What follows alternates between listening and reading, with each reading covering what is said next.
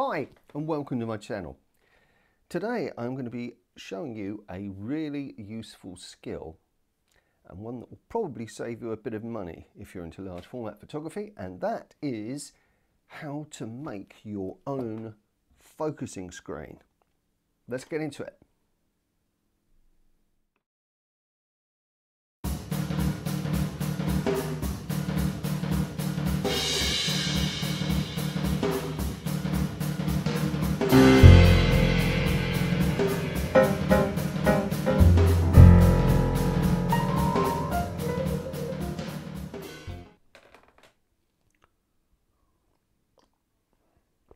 Oh, right. One of the major things that can go wrong when you're out taking pictures with your large format cameras is to somehow bang or knock and break your focusing screen. Your ground glass screen is probably the weakest element of your camera. Um, you can get screen protectors and things like that that, that help, but I think probably everyone in their large format um, lifetime will break a ground glass screen. Uh, they, they aren't super cheap um, and it's a really, really useful skill to be able to, so to speak, roll your own. This is the rather sad focusing screen from the Kodak Specialist. As you can see, it's got a big chunk taken out of the corner uh, but not only that, it's yellowed, probably loads of cigarette smoke from back in the day. Um, it's had pencil marks, Sharpie marks, um, all kinds of things on it. It's filthy dirty and it's also not a very bright screen. So what we're going to do is we are going to grind a new screen. The first raw material we need is some glass, commonly known as float glass. I've actually got a pack here of 7x5 sheets of float glass, which I bought from a picture framing company. But the Kodak Specialist isn't 7x5. The focusing screen is actually half plate which is um, six and three quarters by five and a half, I think, or might be the other way around. I can never remember these things. I'll check on the plate. Uh, four and three quarters by six and a half. There we go, you see. Um, there is, of course, another source of pieces of accurately cut glass. And I have this old box of Kodak photographic plates glass photographic plates. Now, sadly, I tried a couple of them. They are beyond use, but they are the right thickness and they are beautifully optically flat glass. So what I did was I boiled up a kettle and in a washing up bowl, I poured some hot water on a couple of these that had, they were actually ones that I'd tested and not managed to get images on um, and scraped and floated off the emulsion. Um, I used an old credit card, really quite simple. So I ended up with a couple of sheets of very clear, very flat and very nice glass. I will now show you exactly how I went about grinding one of these sheets of glass into a new screen. Okay, so in the picture here, you see most of the stuff that I used to do the uh, screen grind.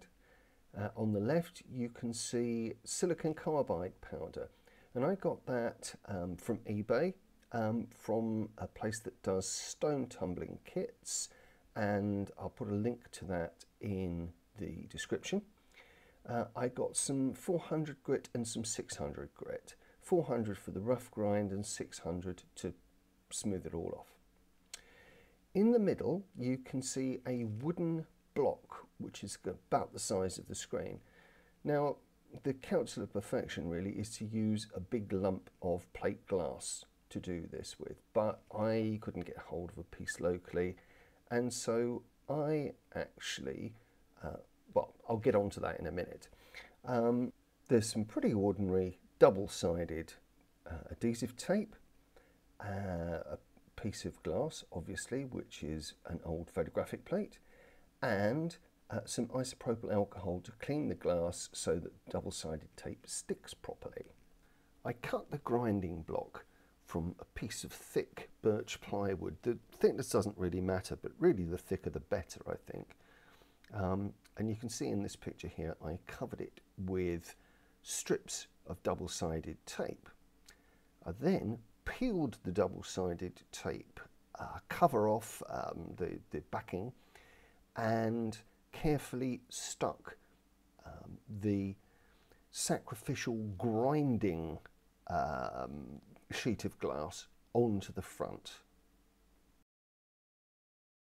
Then I moved close to a supply of water and laid down some newspaper. At this point, I've got to really caution you um, about safety because glass can cut you very, very badly um, and silicon carbide powder is horrible to get on your hands, horrible to ingest, and just horrible, um, desperately horrible to breathe in.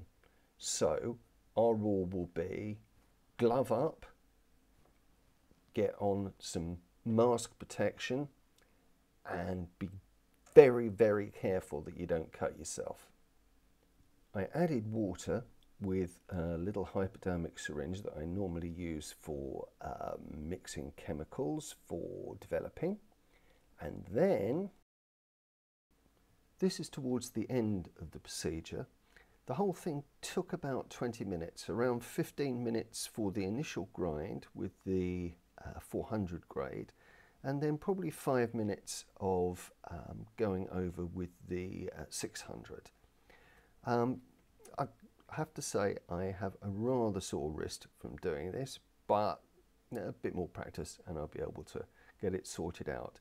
As you can see, there was a bit of a horrendous mess created, but because it was all on newspaper, I could pick it all up together and dump it safely. Back to the rather sad old screen in the Kodak Specialist. Um, you might notice that the uh, corners are cut, well, the corners that aren't broken, um, but I decided not to do this in the replacement screen. I might try that on the next screen I do. I didn't want to break a piece of glass trying to get the corners cropped off. Anyway, two screws to remove the clips and in goes the new screen. And now to see the results and oh yeah heavy based. There we have it, a nice bright new focusing screen. The interesting thing is that this screen is probably two stops, maybe a little bit more brighter than the original. And I believe this is something um, that is quite common, that when you grind your own screens, and you can take a little bit of time to um, do a nice fine grind, um, you end up with a really lovely bright screen. Um, now, please do remember all the uh, cautionary stuff.